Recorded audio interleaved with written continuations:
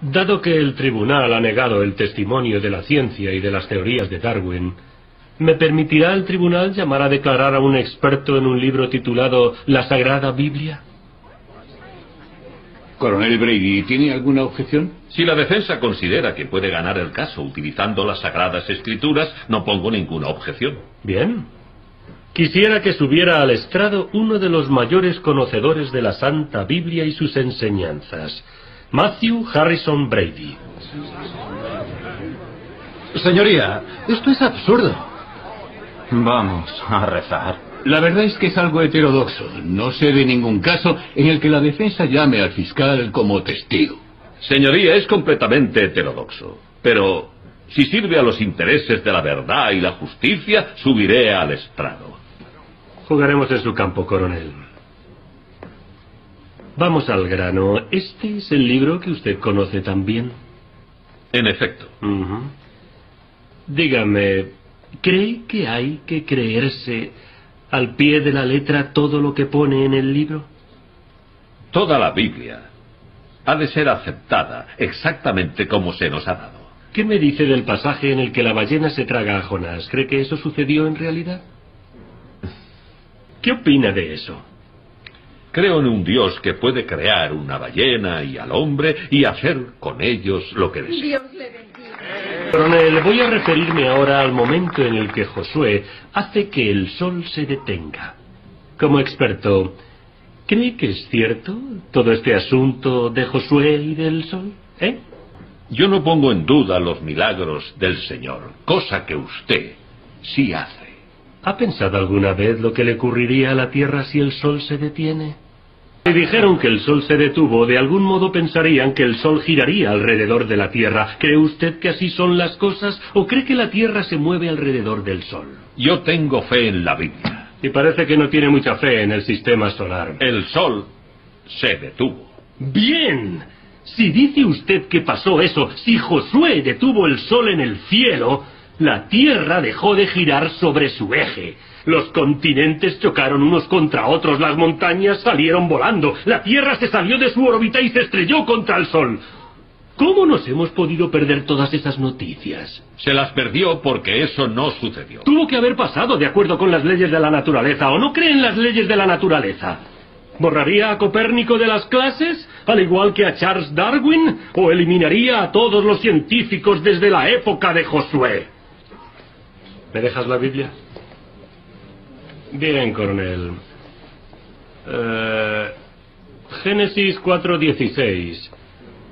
Alejóse Caín de la presencia de Yahvé y habitó en el país de Nod, al oriente de Edén. Caín conoció a su esposa.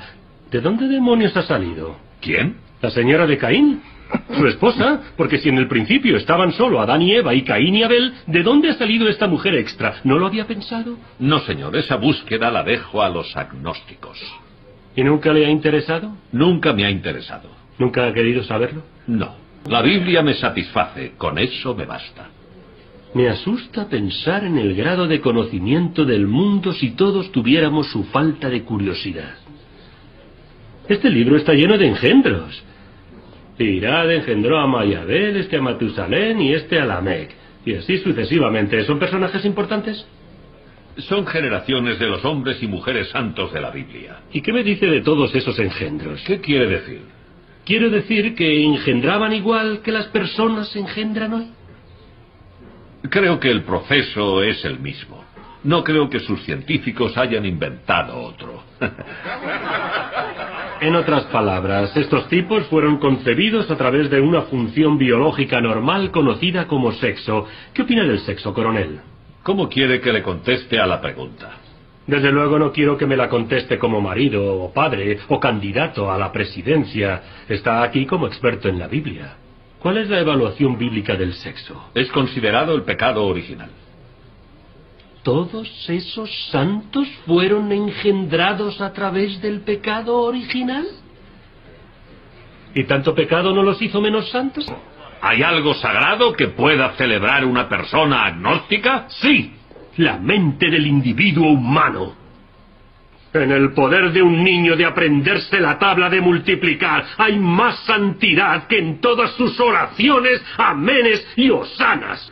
Y el avance del conocimiento humano es más milagroso que un bastón convertido en serpiente o la separación de las aguas. Vamos a detener el avance del progreso porque el señor Brady nos asusta con sus fábulas. Debemos abandonar nuestra fe en la agradable poesía del Génesis. No debemos abandonar la fe. La fe es lo más importante. Entonces, ¿por qué Dios nos castigó con la facultad de pensar?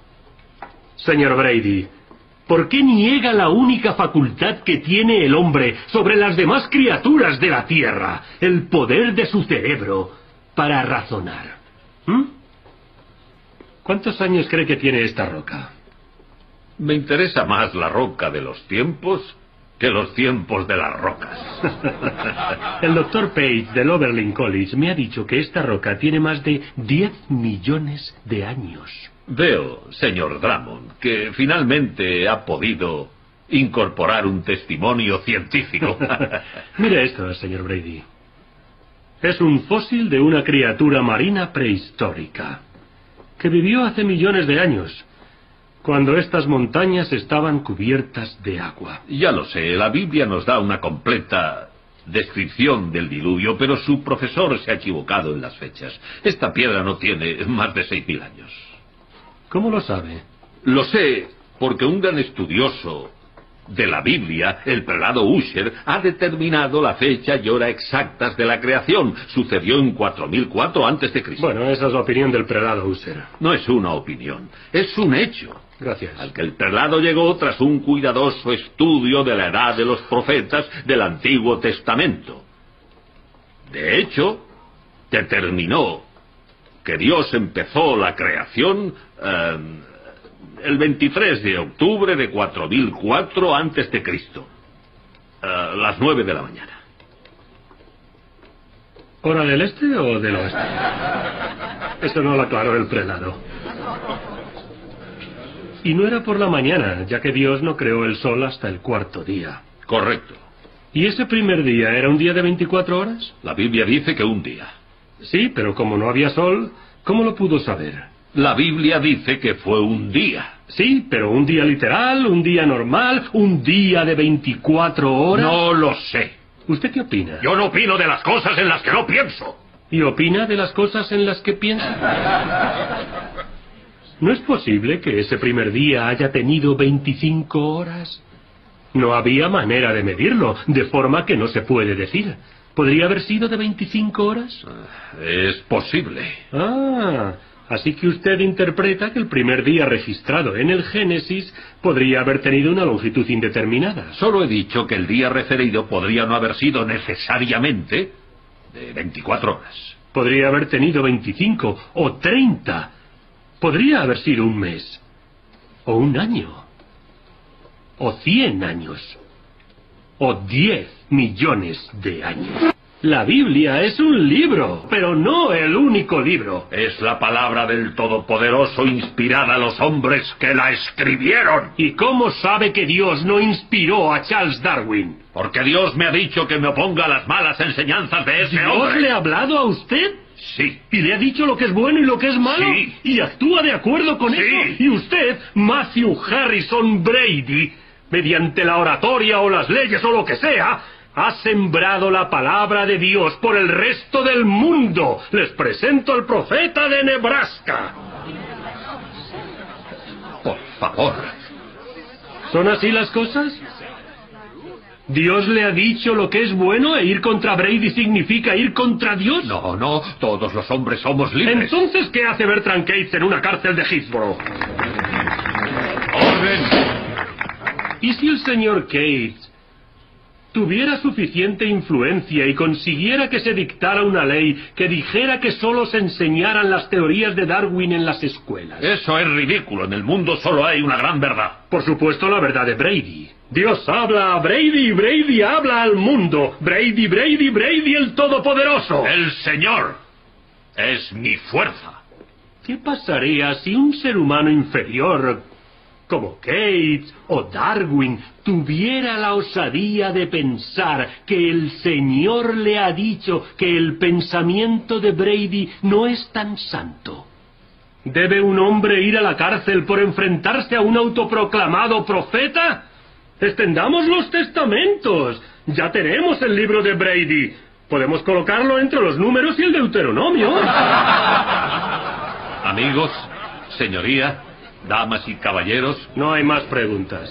Saben que yo defiendo mis creencias. Yo. Yo creo en la verdad del libro del Génesis. Señoría, he terminado el interrogatorio. El Levítico,